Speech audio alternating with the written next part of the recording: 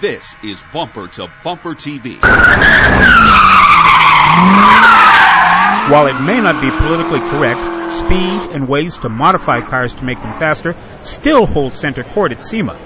The annual aftermarket show in Las Vegas didn't disappoint performance enthusiasts this year, who saw lots of bigger, slicker, and faster versions of what can be done to a car. And this is also where manufacturers get a chance to earn bragging rights for extreme editions of what you can buy off the showroom floor. For the first time, the show promoters even presented honors for the best in nearly every class, from trucks to sports sedans to compacts. Grassroots racing arena. Rio's power. And in what has become a tradition, mainstream car makers turn over their newest models to the aftermarket to see what serious customization can be done. Domestic nameplate Chevrolet, which is enjoying good times again, showed off some Camaro concepts, including a throwback version of the icon with a Hot Wheels package. By the way, the tracks are optional. Hyundai chose to answer critics of the Genesis Coupe, who say it needed a V8. So what took so long? Uh, I think the biggest uh, challenge was writing the check.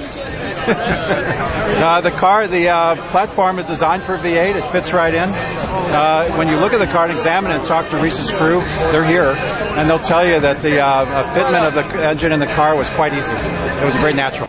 At the luxury end, Lexus, which along with parent company Toyota has had a down year, is trying to change the conversation with the new GS sedan F Sport Edition.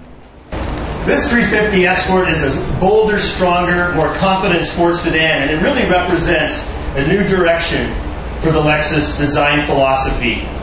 It's a new chapter for the Lexus brand.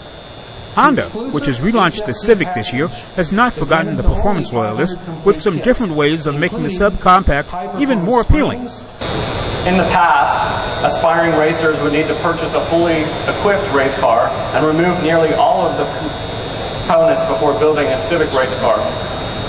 Race car builders now have the option to start with a blank slate. So whoever says the industry is only catering to small, fuel-efficient car buyers hasn't met this crowd yet. This is Greg Morris. We want to know what you think, so email us. The address is bumper to bumper TV at cs.com.